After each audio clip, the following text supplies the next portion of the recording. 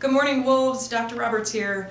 This week we're moving to remote learning. We knew this day might be coming, but I think we're ready for it, more ready than we were last spring. So remember, Monday and Tuesday are teacher planning days. Wednesday we will start on our A, B day schedule. So for those of you who are students here before, we're going to do our block schedule. We'll go every other day, and our um, cohorts will be combined now. So the calendar is on the web page. We'll also send it out to your families.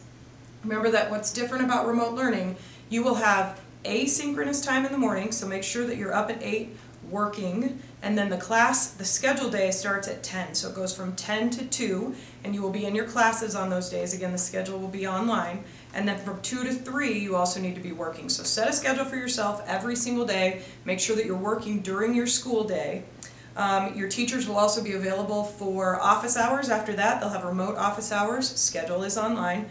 Please, please, please make sure that you are engaging. Know that grades are important. Your grades will continue on. It's not hold harmless like it was in the spring. So teachers will continue to measure your learning and what will be reflected in the gradebook are those assessments of your learning. So please make sure that you are engaging.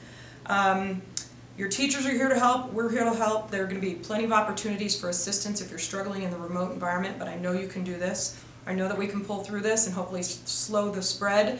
Please only spend time as much as you possibly can with just those that you are in your house with so that we can continue to keep everybody healthy. But we can do this. Remember, at Grandview, we are one pack. Go Wolves.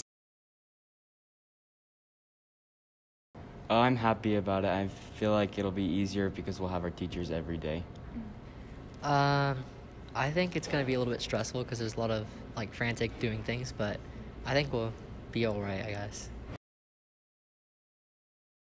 Wednesday is Veterans Day, so on behalf of the Grandview newspaper staff, we would like to say thank you to our veterans. So make sure that you also take some time out of your day to pay respects to those who served.